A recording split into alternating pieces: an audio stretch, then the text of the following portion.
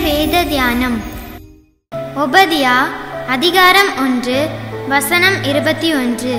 ஏசாவின் பர்வதத்தை நியாயந்தீர்ப்பதற்காக இரட்சகர்கள் சியோன் பர்வதத்தில் வந்தேறுவார்கள்.